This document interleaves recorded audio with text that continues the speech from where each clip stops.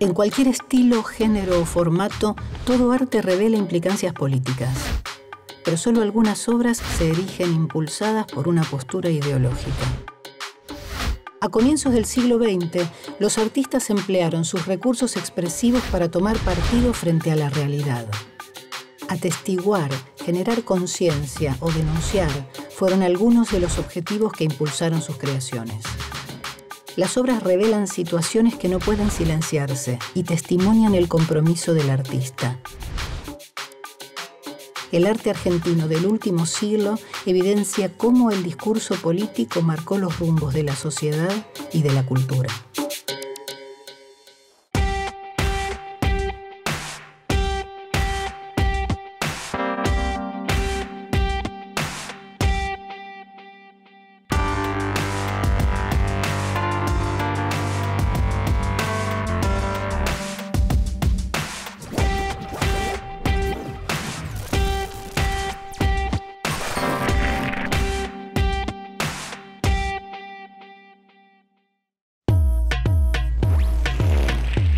1936, España fue marcada por el estallido de la Guerra Civil.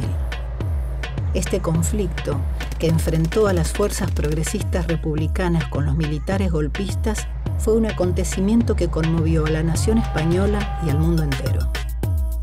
En Argentina, muchos artistas sintieron la necesidad de expresar su postura.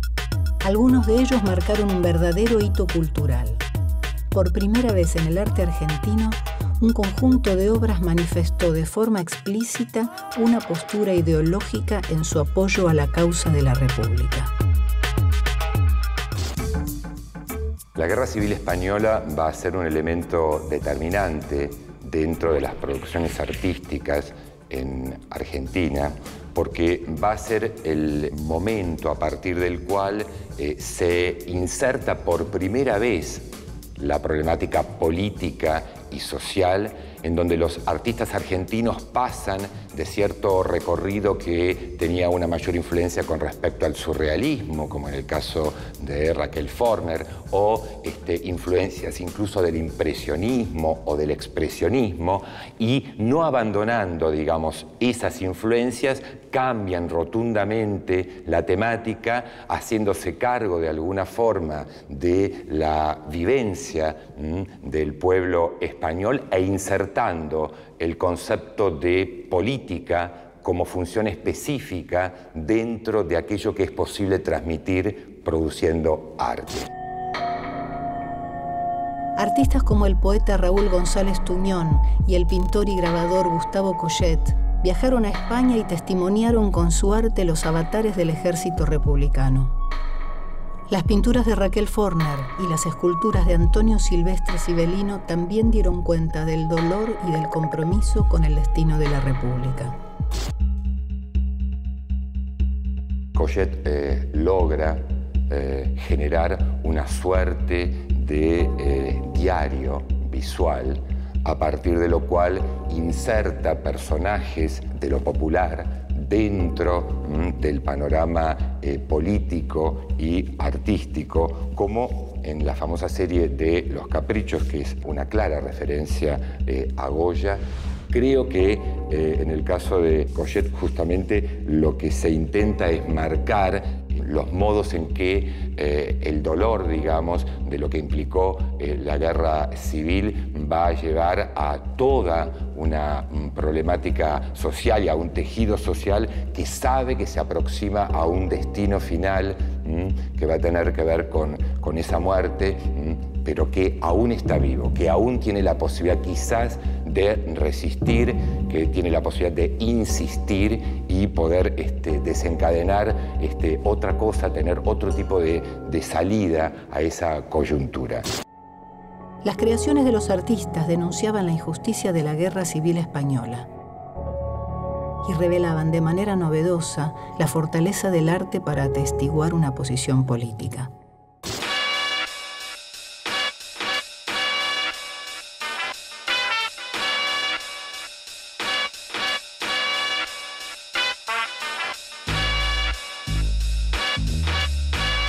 Raquel Forner es una pionera.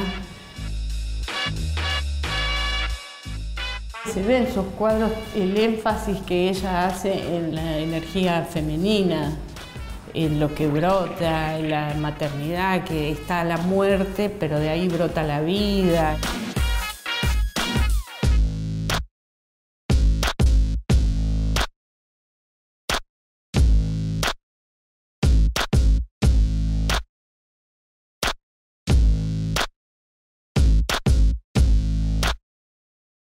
Muy impresionante. Los fusilamientos son impresionantes y el cementerio atrás como un telón de fondo ominoso. No me gusta usar la palabra alegoría porque la alegoría está un poco como devaluada dentro de lo que es la representación visual. Pero acá como en una pesadilla está sucediendo todo al mismo tiempo.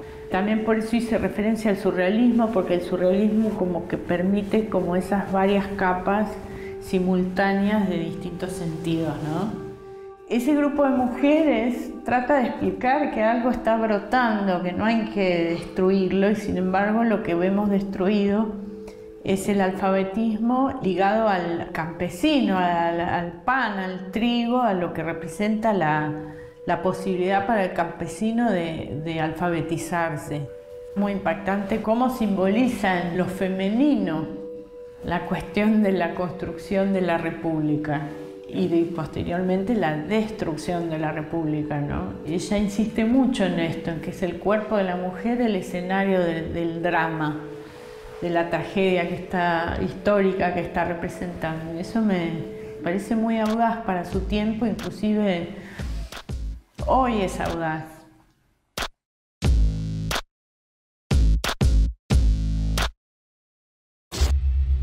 En 1946, mientras el compromiso con la guerra civil española todavía estaba latente, en Argentina, el general Juan Domingo Perón accedió a la presidencia y consolidó en el país un poder político inédito que duraría largos años, el justicialismo. En el contexto de la segunda presidencia justicialista, un director y actor que adhería al proyecto de este partido plasmó sus ideales políticos con un lenguaje profundamente popular en una película emblemática. Las aguas bajan turbias, de Hugo del Carril, presentaba una historia comprometida con la realidad y las problemáticas de los trabajadores. ¿Qué pasó con el Goya? Barreito lo ha chorreando sangre en el monte. Ya sé cuál es el mozo que usted dice. ¿No le llamaban el igual? Así es. Se escapó una noche y quiso ganar el rey. ¿Sí? A tiros en el monte. La importancia de las aguas bajan turbias fundamentalmente tiene que ver porque por primera vez, si uno analiza un poco el contexto ¿no? de la filmografía de la época, aparece justamente un modo que parte del concepto de un sujeto y los elementos naturales que lo rodean, sus condiciones de trabajo y de producción, esto deja de ser protagonista para marcar qué cosa, que el protagonismo ¿sí? está en una clase. Esa clase es la trabajadora y es esa colectivización, esa acepción de comunidad la que puede salvar y mejorar las condiciones de vida. Es decir, no hay manera de pensar la salvación individual en el drama, sino que solo hay salvaciones colectivas.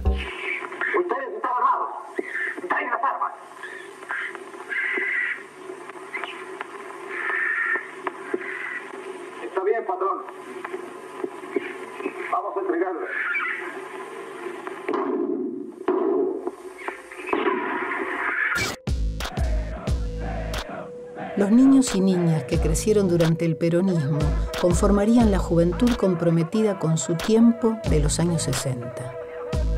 Durante 1968, la Argentina se encontraba en plena dictadura comandada por el general Onganía.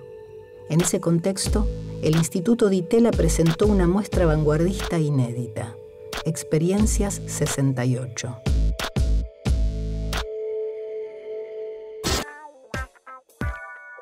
En Experiencia 68 se observa una convergencia muy fructífera entre la vanguardia artística y el compromiso político. Por ejemplo, la politicidad de las acciones cotidianas. En la obra de Roberto Plate, la obra que finalmente hace que se clausure la exposición, los baños públicos aparecen entonces como un lugar a donde se hacen ciertas acciones y entre esas acciones no está solamente la necesidad fisiológica, sino también está, por ejemplo, la de escribir en las puertas de los baños todo aquello que justamente aparece mm, posibilitado por la no censura, este, dado que se trata de un espacio absolutamente íntimo. Y esa justamente es la zona que más molesta a la dictadura de Onganía. El problema de la moralidad, el problema de la obscenidad, de las cosas que los propios visitantes de la muestra se largaron a escribir en las puertas de esos baños. Entre los artistas que participaron, el pintor y fotógrafo Oscar Boni exhibió una de las obras más controvertidas de la tradición argentina, La familia obrera. La instalación mostraba a la familia de un trabajador matricero contratado por el doble de su salario usual para que sus integrantes estuvieran presentes durante el horario de visita de la muestra.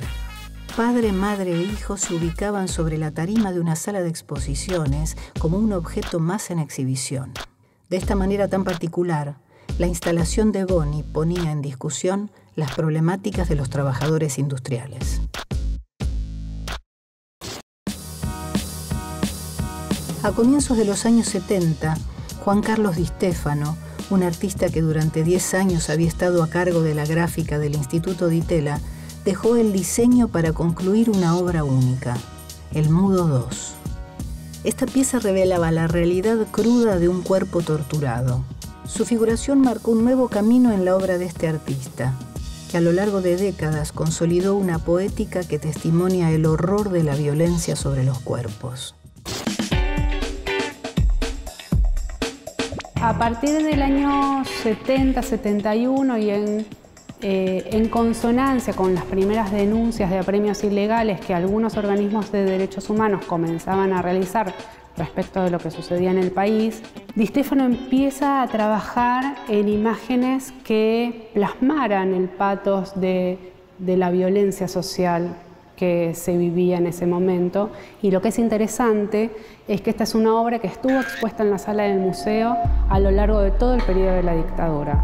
Es una obra que toca el tema de la tortura y que eh, desde un lugar muy particular, porque trabaja sobre una técnica de tortura lamentablemente muy conocida, que es la del submarino, que consiste en sumergir la persona dentro de un recipiente con líquido para obtener algún tipo de confesión. Digamos, ese protagonismo tan fuerte del cuerpo ¿no? que comienza a tener la escultura en los años 70 eh, y que también dialoga de una manera muy interesante con la idea de desaparición que se va a imponer a partir de 1976, ¿no? esa idea de el cuerpo presente, pero también eh, son cuerpos, por lo general, en las obras de Juan Carlos, cuerpos que están imposibilitados de moverse, son cuerpos fragmentados, son cuerpos muy vulnerados. Uno de los temas recurrentes también en Di Stefano es el uso de, de, la transparencia de la resina para resaltar la inestabilidad de determinadas materias que siempre están muy presentes en su obra. En este caso es la acción del cuerpo que sumerge al cual está en ese instante en que la cabeza está traída de vuelta a la superficie. Entonces él eh, trabaja la idea de esa materia inestable como es el agua a través del tratamiento de la resina.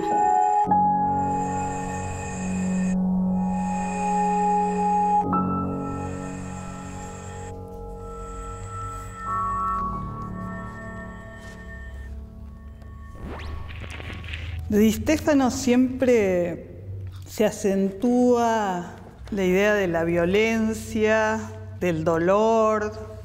Lo más este, saliente de la obra de Stefano es como una cierta amorosidad por la figura humana. esa representación de la violencia directamente este, desarrollada sobre un cuerpo es una representación que, que no elide la ternura. Y a mí me parece que eso es fuerte.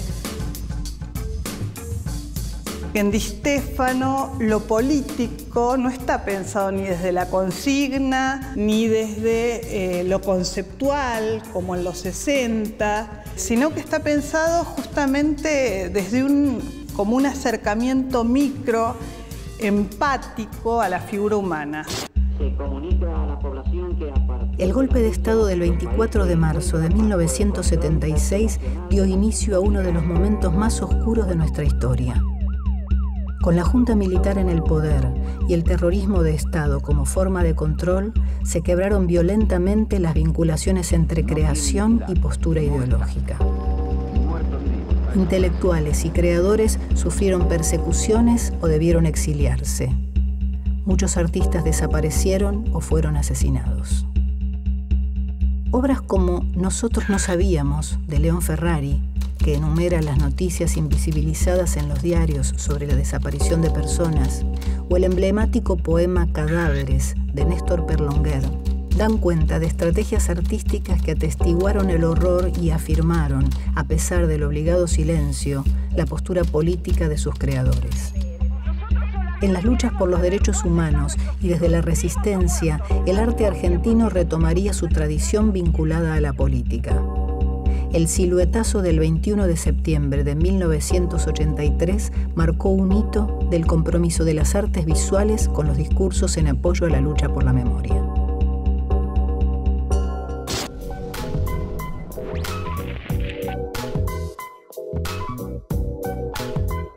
Bueno, el siluetazo fue una acción que marca como el regreso a la vida pública de, de los artistas de una forma muy particular a, tener una presencia en las calles, articulándose con las protestas de las madres de Plaza de Mayo eh, que venían desde el 77, ¿no? Eh, marchando por sus, por sus hijos desaparecidos.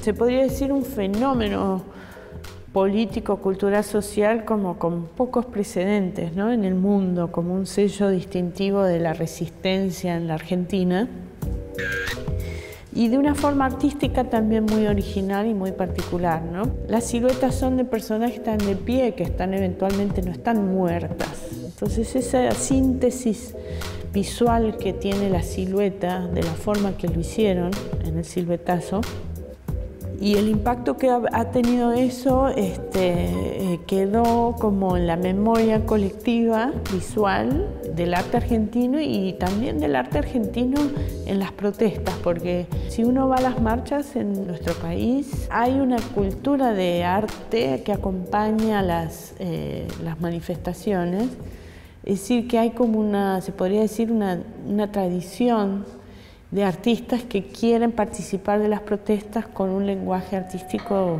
concreto. ¿no? Siento que acá esta imagen condensa también el aporte de los artistas al movimiento de las Madres de Plaza de Mayo al proveerles el estandarte y la imagen que ellas necesitaban, además del pañuelo blanco. Entonces en esta foto, esta mujer que se la ve tan frágil, está como, es muy, muy poderosa la decisión con que ella sostiene esta, esta, esta ausencia. Entonces, nada, esta foto es, muy, muy fuerte, muy importante. Es muy lo que somos, esto es lo que somos nosotros, la Argentina.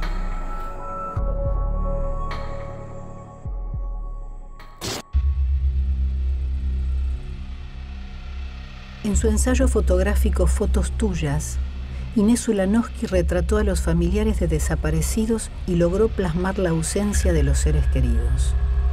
Cada persona fue retratada junto a fotografías o pertenencias de las víctimas de la violencia de Estado.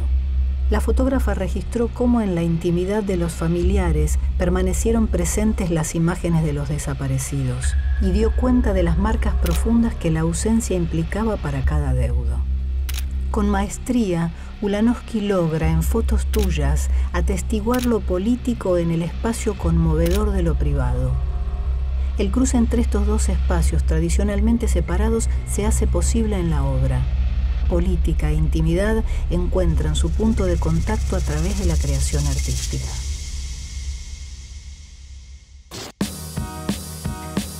Otras estrategias del arte en torno a lo político se manifiestan en el espacio de los colectivos artísticos. El estallido de la crisis económica y social de 2001 incidió de forma directa en la ciudadanía y por lo tanto en los artistas. La situación convocó al compromiso y frente a la realidad de la protesta, las artes tomaron las calles junto al pueblo. Diversos grupos plantearon formas artísticas de expresión en el centro de lo comunitario. Sus acciones apostaron a la creación en espacios públicos y a la participación activa en las protestas populares. El taller popular de serigrafía, La Mar en Coche y el grupo de arte callejero representan este momento del arte colectivo. Sus obras tuvieron un gran impacto en las acciones populares y renovaron las vinculaciones entre arte y política a comienzos del siglo XXI. Lo interesante de todo este conjunto de colectivos es que todo el proceso es parte de la obra y que si bien puede ocurrir que las obras se realicen en taller, el momento de llevarlas a la calle es el momento fundamental y adquiere toda una suerte de ritual. ¿sí? En el caso del grupo de arte callejero, comienzan participando de la, de la carpa blanca, de los docentes, Luego se unen a hijos y realizan los primeros scratches, produciendo una suerte de señalética urbana, realizando como si fuera carteles viales que se mezclan con la vida de la ciudad, ¿no? Estos carteles están allí para el momento del scratch, pero además quedan para después, quedan como un testimonio de que la ciudad es todo eso. En todos los casos, tanto en el grupo GAC como en el taller popular de serigrafía, como en la mar en coche, la acción artística es a la vez acción política. Otra de las artistas que se destacó durante la crisis del 2001 fue la pintora Magdalena Gitrick. Cuando ella tomó contacto con la Federación Libertaria Argentina, un centro político y cultural anarquista creado en 1935, se propuso realizar una obra específica para este lugar. Inspirada por la historia y el compromiso de las luchas atestiguadas en la Federación, montó la instalación Ensayo de un Museo Libertario. Me gustaría, eh, si pudiésemos charlar un poco acerca de bueno, tu inserción, digamos, como artista dentro de la problemática política y creo la importancia ¿no? que tuvo en su momento y que sigue teniendo eh, en la instalación del museo. Bueno, tiene que ver un poquito con los noventas ¿no? y cómo, en esa etapa casi estaba totalmente escindida la discusión política de, la producción artística. Como que en los noventas era anacrónica mi obra. Era como esa especie de recupero de vanguardias de principios del siglo XX y arte abstracto como, como ruptura entonces, bueno, me hacía falta la parte de las vanguardias políticas, ¿no? De las cuales no se podía hablar o no era cómodo hablar. Pero a partir de como del 94, 95, en mi pintura abstracta empecé a titular con referencias políticas. Entonces, buscando esos títulos, que es como llegó a la Federación Libertaria Argentina, para consultar la biblioteca y, buscar literatura donde yo pudiera hallar ese tipo de consignas. Ellos me mostraban los objetos de la casa, entonces yo me acuerdo haber dicho, me encantaría acá organizar un sector de museo de la casa. Nunca lo imaginé con mi obra. Lo imaginé con los objetos, de la casa, los libros, las máquinas de escribir, los periódicos, todo lo que era el trabajo propagandístico y político de, de la casa, ¿no? estando ahí organizando un sector como una vitrina, como para poner ese, el arma, los mimeógrafos, los sellos, todo lo que es la, lo que yo quería meter en ese museo, eh, ahí encuentro una serie de documentos eh, de una huelga y hasta que agarré una máquina de escribir que estaba ahí y agarré el papel membretado que estaba ahí, empecé a copiarlo como cuando yo era chica. Y cuando estaba escribiendo ese texto en esa máquina de escribir de la flaga, y pum, desde entonces que ahí entró el texto propiamente dicho a la obra.